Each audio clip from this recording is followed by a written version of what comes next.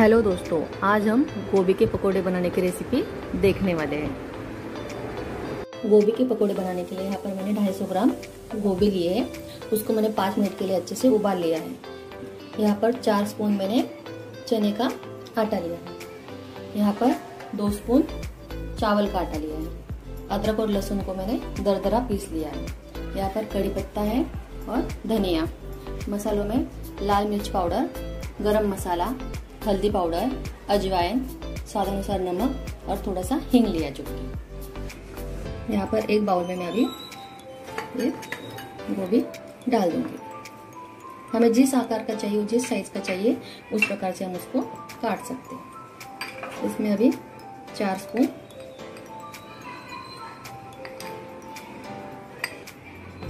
चार स्पून यहाँ पर मैं बेसन डाल रही हूँ।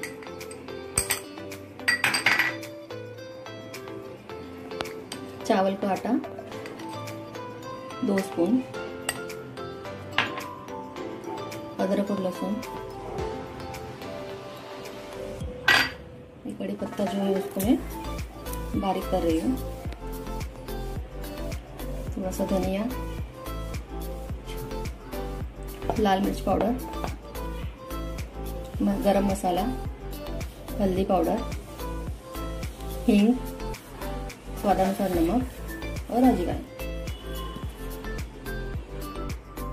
इसको भी अच्छे से मिक्स कर लेना है। इसमें थोड़ा थोड़ा करके हम पानी डालेंगे।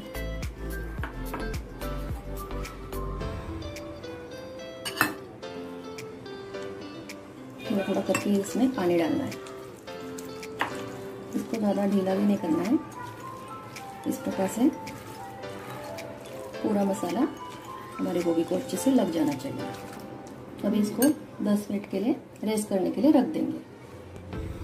तो यहाँ पर हमारा 10 मिनट अभी रखकर हो चुका है। यहाँ पर मैंने गैस पर कढ़ाई रख दी, उसमें ऑयल गर्म करने के लिए रख दिया। गैस की फ्लेम अभी मीडियम करना है। और एक एक करके ये सब गोभी तल लेना है अच्छे से।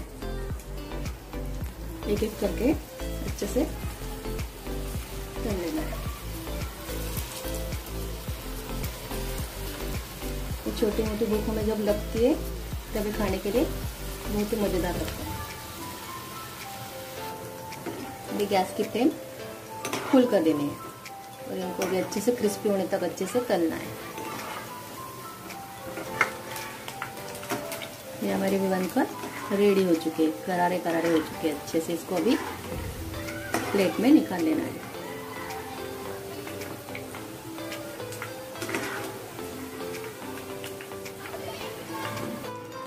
सेम प्रोसेस ऐसे ही दूसरी भी मैं तल लूँगी। ऐसे फुल फ्लेम पे उनको तल लेना है क्रिस्पी होने तक। ये देखिए हमारे गोभी के पकोड़े अभी बनकर रेडी हो चुके हैं। बाहर से बहुत ही क्रिस्पी और अंदर से सॉफ्ट बने आप इसको एक बार घर पर ज़रूर बनाकर देखिए। अगर आपको मेरा ये वीडियो पसंद आया तो इसको लाइक शेयर और सब्सक्राइब ज़रूर कीजिए। धन्यवाद।